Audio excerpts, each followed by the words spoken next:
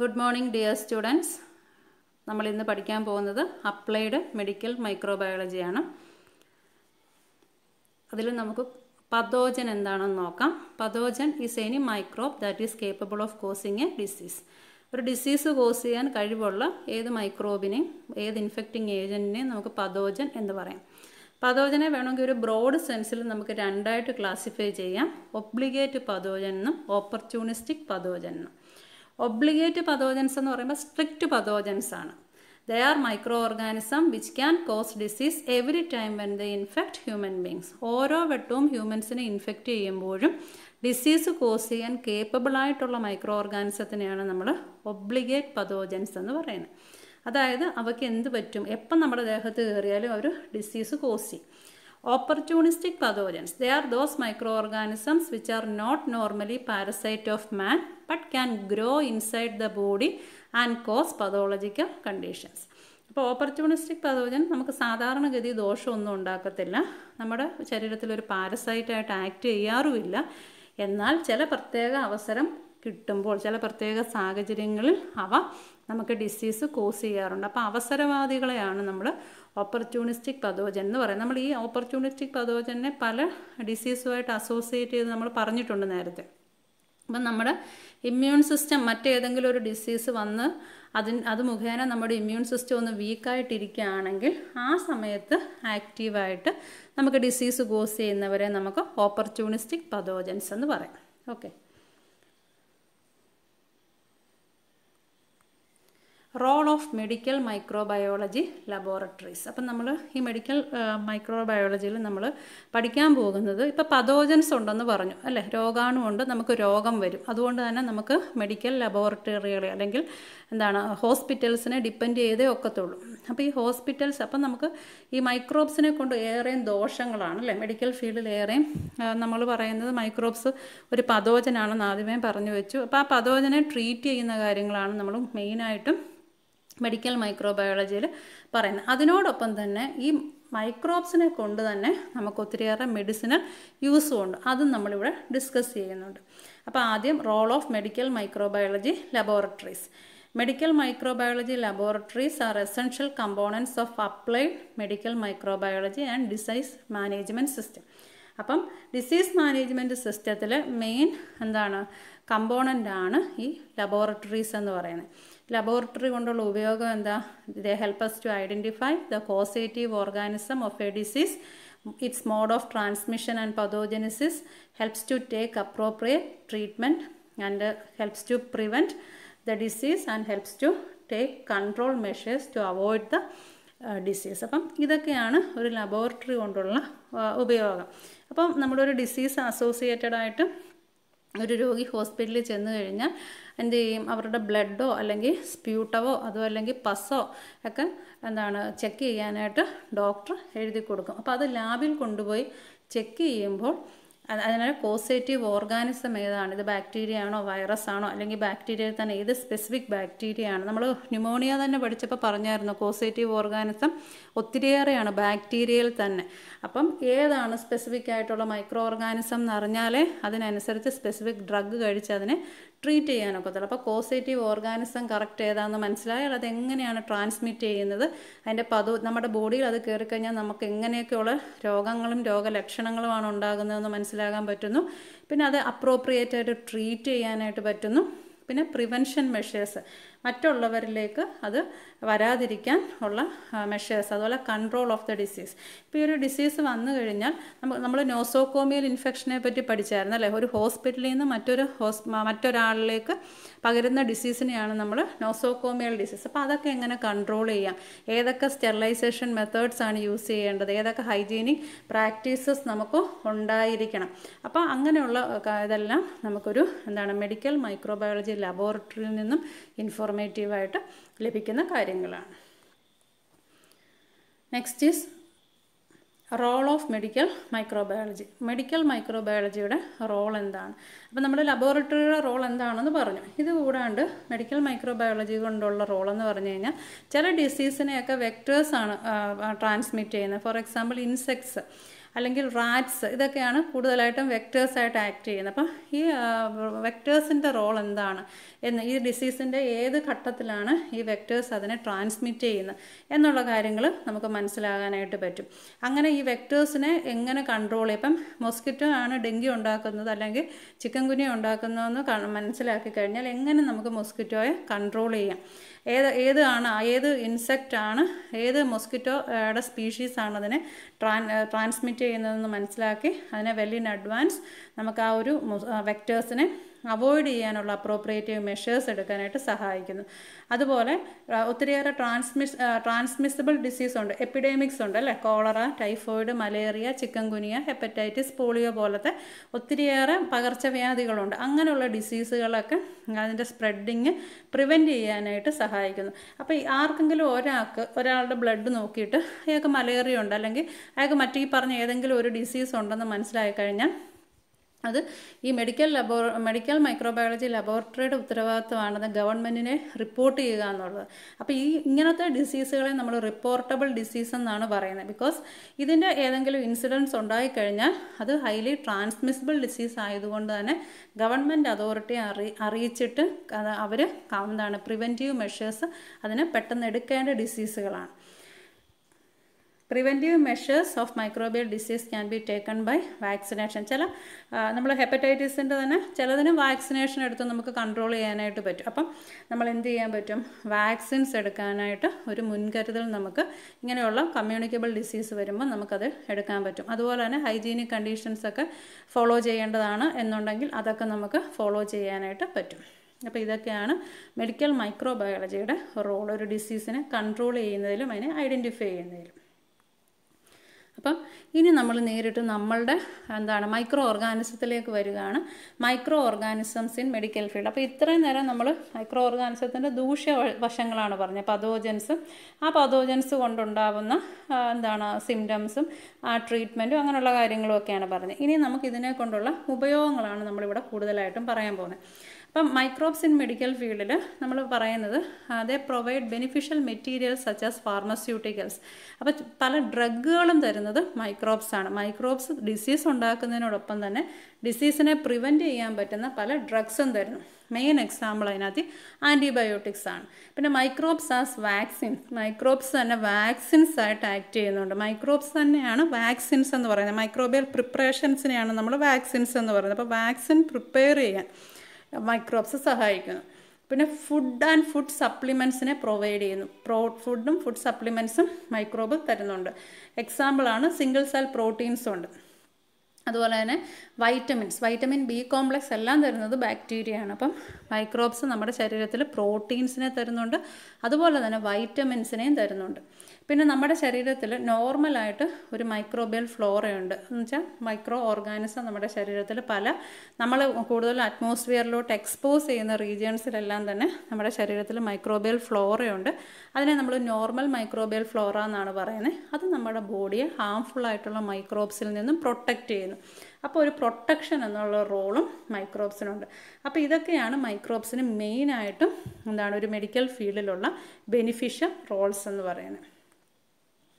ഇനി അപ്പോൾ ആദ്യത്തെ അതിലെ ഫാർമസ്യൂട്ടിക്കൽ അതിൽ ആന്റിബയോട്ടിക്സ് അപ്പോൾ ബാക്ടീരിയ ആ സോഴ്സ് ഓഫ് ആന്റിബയോട്ടിക്സ് അപ്പോൾ ഏതൊക്കെ ബാക്ടീരിയയാണ് antibiotics തരുന്നതെന്നുള്ളതാണ്.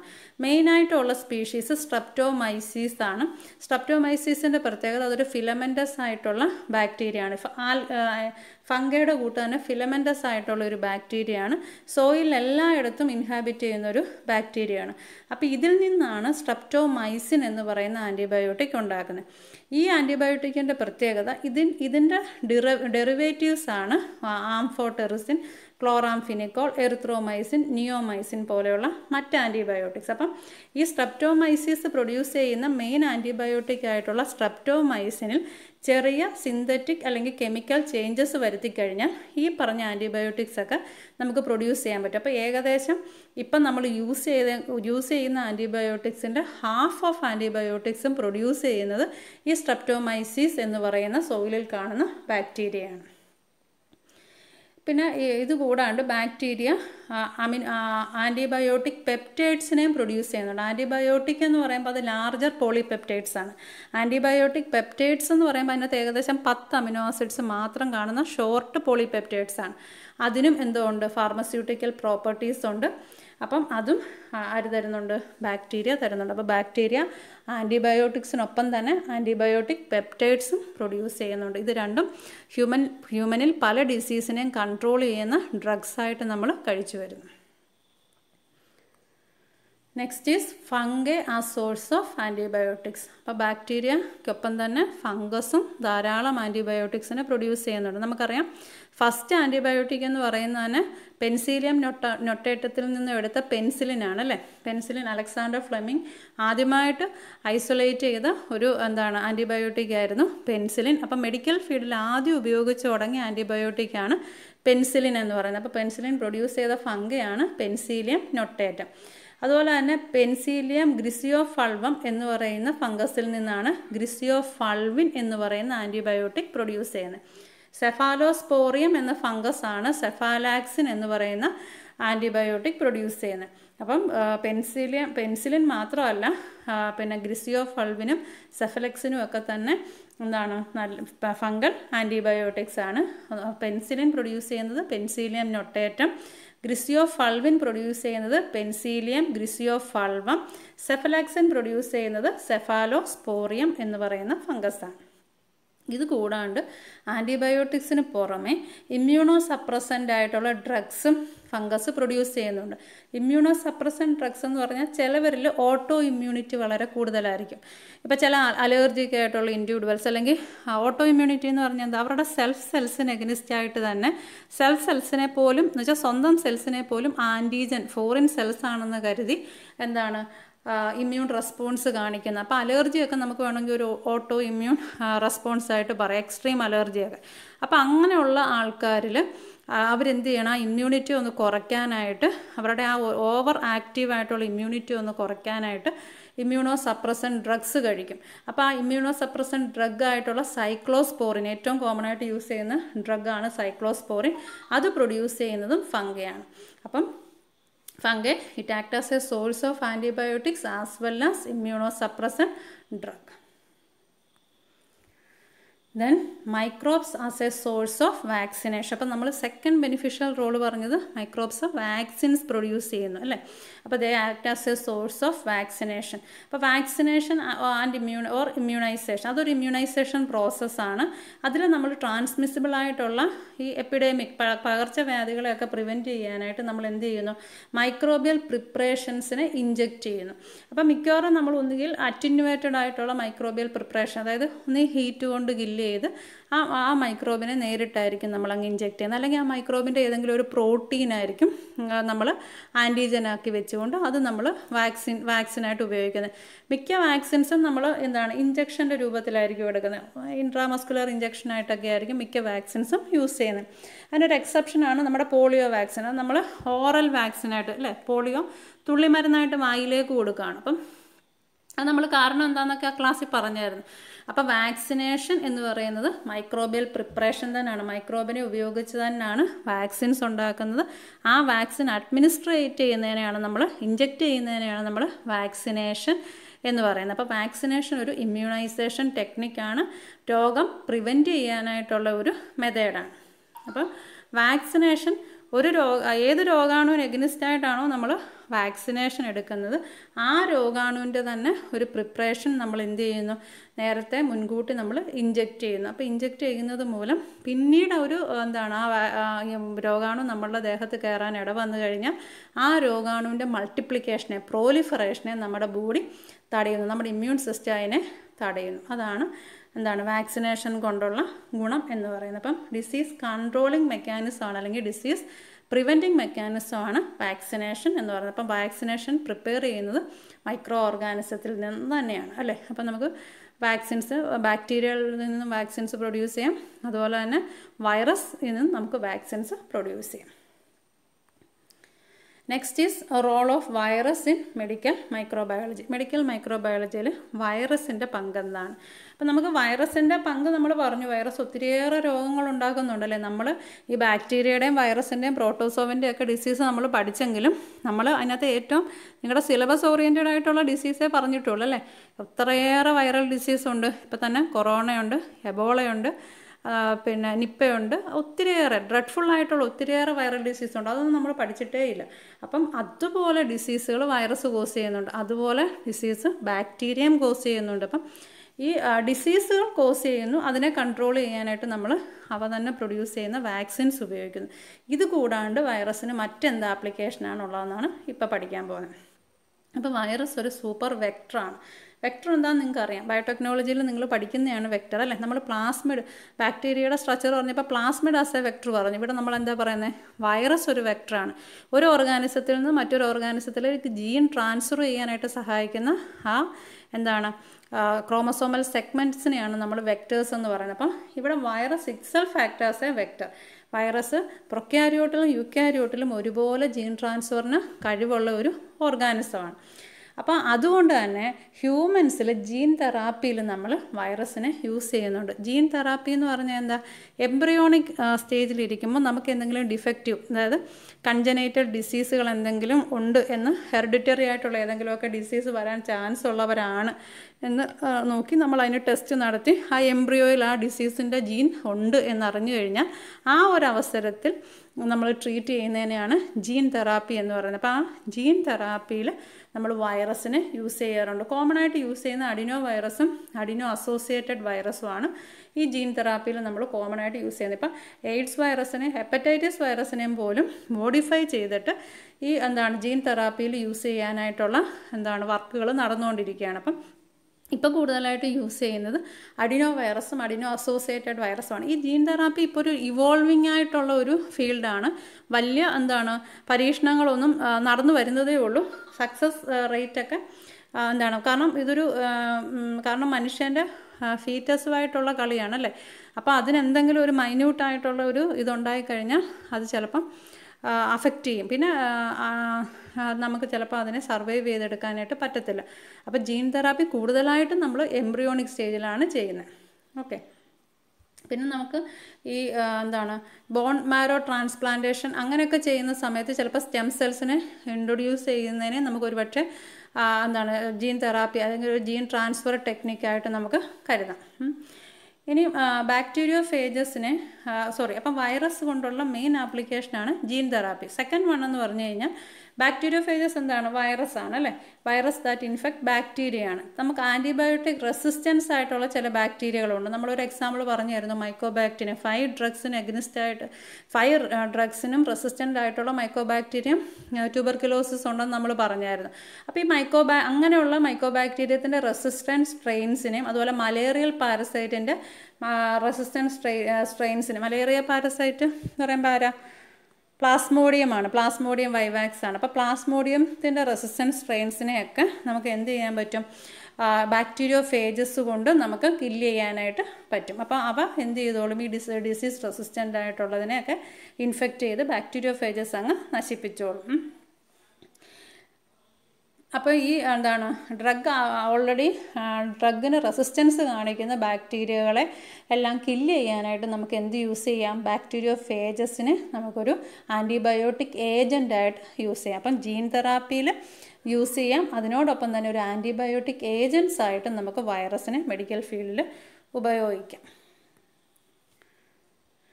Next is probiotic organism probiotic organisms എന്ന് പറഞ്ഞു കഴിഞ്ഞാൽ നമ്മുടെ സ്കിന്നിൽ ഗ്യാസ്ട്രോ ഇൻഡസ്റ്റൈനൽ ട്രാക്റ്റിൽ റെസ്പിറേറ്ററി ട്രാക്റ്റിൽ യൂറിനോജനൈറ്റൽ ട്രാക്റ്റിലെല്ലാം ഞാൻ നേരത്തെ പറഞ്ഞായിരുന്നു നമ്മൾ അറ്റ്മോസ്ഫിയറുമായിട്ട് അല്ലെങ്കിൽ എൻവയോൺമെന്റുമായിട്ട് എക്സ്പോസ്ഡ് ആയിട്ടുള്ള നമ്മുടെ ശരീരഭാഗങ്ങളിലെല്ലാം തന്നെ മൈക്രോബിയൽ ഗ്രോത്ത് ഉണ്ട്. പെർട്ടിക്കുലർലി ബാക്ടീരിയൽ ഗ്രോത്ത് ഉണ്ട്. അപ്പോൾ അതിനെയാണ് നോർമൽ മൈക്രോബിയൽ ഫ്ലോറ എന്ന് പറയുന്നത്. അപ്പോൾ ഇവർ നമുക്ക് ഭയങ്കര ഉപകാരികളാണ്. ഇവർ ചില കെമിക്കൽസ് ഒക്കെ സെക്രീറ്റ് ചെയ്യും. ഇവർ സെക്രീറ്റ് ചെയ്യുന്ന കെമിക്കൽസ് കൊണ്ടാണ് നമ്മുടെ സ്കിന്നിൽ മറ്റ് അല്ലെങ്കിൽ ഈ പറഞ്ഞ ഓർഗൻസിലോ ഒക്കെ തന്നെ മറ്റൊരു ബാക്ടീരിയ ഹാംഫുൾ ആയിട്ടുള്ള ഒരു ബാക്ടീരിയ വന്ന് ഇൻവേഡ് ചെയ്യാതെ അപ്പം അത് ഇൻവേഡ് ചെയ്യുന്നത് ഈ എന്താണ് നമ്മുടെ ശരീരത്തിലുള്ള ഈ നോർമൽ മൈക്രോബിയൽ ഫ്ലോറ തടയുന്നു. അപ്പം നമുക്കൊരു പ്രൊട്ടക്ഷൻ തരാൻ ഏറ്റവും കൂടുതൽ റോൾ വഹിക്കുന്ന ആളാണ് ഈ നോർമൽ മൈക്രോബിയൽ ഫ്ലോറ അപ്പോൾ പെട്ടെന്നൊന്നും നമുക്കൊരു രോഗം ഉണ്ടാവാതിരിക്കാനുള്ള കാരണക്കാർ ഇവരാണ്. അപ്പോൾ ഇവർ നമ്മുടെ ഗ്യാസ്ട്രോ ഇൻഡസ്റ്റൈനൽ ട്രാക്റ്റിലും ഉണ്ട്. എന്ന് വെച്ചാൽ എവിടെ? നമ്മുടെ വയറ്റിനകത്തിലും ഉണ്ട്. റെസ്പിറേറ്ററി ട്രാക്റ്റിലും ഉണ്ട്. യൂറിനോജനേറ്റൽ ട്രാക്റ്റിലും ഉണ്ട്. പിന്നെ സ്കിന്നിലും ഉണ്ട്. അപ്പോൾ ഇവരെ ഈ നോർമൽ മൈക്രോബിയൽ ഫ്ലോറെ പറയുന്ന മറ്റൊരു പേരാണ് പ്രോബയോട്ടിക് ഓർഗാനിസം പ്രോബയോട്ടിക് ഓർഗാനിസം അപ്പോൾ ഈ ബാക്ടീരിയ നമ്മുടെ ബോഡിയെ അൺസ്യൂട്ടബിൾ ആയിട്ടുള്ള അല്ല സോറി പതോജൻസിൽ നിന്നും പ്രൊട്ടക്റ്റ് ചെയ്യുന്നു. അത് പ്രൊട്ടക്റ്റ് ചെയ്യുന്നത് നമ്മുടെ ബോഡിയുടെ സർഫസ് അല്ലെങ്കിൽ ഈ ബാക്ടീരിയ ഇരിക്കുന്ന സർഫസ് മറ്റു പതോജൻസിന് വന്ന് അറ്റാക്ക് ചെയ്യാൻ അൺസ്യൂട്ടബിളായി വെച്ചുകൊണ്ടാണ് ഇവർ നമ്മളെ പ്രൊട്ടക്റ്റ് ചെയ്യുന്നത്. അപ്പോൾ ഈ പ്രോബയോട്ടിക് ഓർഗാനിസം നമ്മുടെ ഗട്ടിൽ ജീവിക്കുന്നുണ്ടെന്ന് പറഞ്ഞു. അവ നമുക്ക് ഒത്തിരിയേറെ വൈറ്റമിൻസിനെ പ്രൊഡ്യൂസ് ചെയ്ത് തരുന്നുണ്ട്. വൈറ്റമിൻസ് പ്രൊഡ്യൂസ് ചെയ്യുന്ന ഏറ്റവും കൂടുതൽ സഹായിക്കുന്ന മൈക്രോ ഓർഗാനിസമാണ് നമ്മുടെ ഗട്ടിലുള്ള നോർമൽ മൈക്രോബിയൽ ഫ്ലോറ എന്ന് പറയുന്നത്. അതുപോലെ ഇതിനോടൊപ്പം തന്നെ ചില എപ്പിജനറ്റിക് ഫാക്ടേഴ്സിനെ സെക്രീറ്റ് ചെയ്യുന്നുണ്ട്. അത് ഈ ബാക്ടീരിയ സെക്രീറ്റ് ചെയ്യുന്ന എപ്പിജനറ്റിക് ഫാക്ടേഴ്സിന്റെ പ്രസൻസിൽ നമ്മുടെ ഇൻഡസ്റ്റൈനൽ വോളിന്റെ സെൽസ് എല്ലാം തന്നെ എന്ത് ചെയ്യുന്നു? മാക്സിമം ആയിട്ട് ഫുഡിനെ അബ്സോർബ് ചെയ്യാനായിട്ട് ശ്രമിക്കുന്നു. അപ്പോൾ ഈ അബ്സോർപ്ഷനും ഡൈജഷനും അതുപോലെ തന്നെ വൈറ്റമിൻ സെക്രീഷനും എല്ലാം തന്നെ നമ്മുടെ ഇൻഡസ്റ്റൈനിനകത്ത് ജീവിക്കുന്ന പ്രോബയോട്ടിക് മൈക്രോ ഓർഗാനിസം നമ്മളെ സഹായിക്കുന്നു. ഇപ്പം ഇവർ സെക്രീറ്റ് ചെയ്യുന്ന വൈറ്റമിൻസിൽ ഏറ്റവും കൂടുതലായിട്ടുള്ളത് വൈറ്റമിൻ ബി കോംപ്ലക്സിൽ വരുന്ന എന്താണ് വൈറ്റമിൻസ് ആണ്. അപ്പോൾ വൈറ്റമിൻ ബി കോംപ്ലക്സ് എന്ന് പറയുന്നത് ഈ ബാക്ടീരിയ സെക്രീറ്റ് ചെയ്യുന്ന ഒരു പ്രോബയോട്ടിക് സബ്സ്റ്റൻസിന് എക്സാമ്പിളാണ് പ്രോബയോട്ടിക് ഓർഗാനിസം എന്ന് പറയുന്നത് എന്താണ്? പ്രോബയോട്ടിക്സ് എന്നേ പറഞ്ഞിട്ടുള്ളതിലും അതെന്തുവാ? They are micro organism that are living in association with human body and that are useful to human body by secreting some vitamins especially vitamin B complex as well as epigenetic factors that facilitate the digestion and absorption ഈ രണ്ട് പറഞ്ഞത് എവിടെ ഉള്ള ബാക്ടീരിയയാണ് ഗട്ടിൽ ജീവിക്കുന്നത്. ബാക്കിയുള്ള probiotics that are living in skin and urinogenital tract and respiratory tract they protect or they provide എന്താണ് unsuitable environment for the harmful micro organism thereby they protect our body next is prebiotic substance. അപ്പോൾ ഈ probiotic micro organism അതിനെ probiotics എന്ന് പറയും.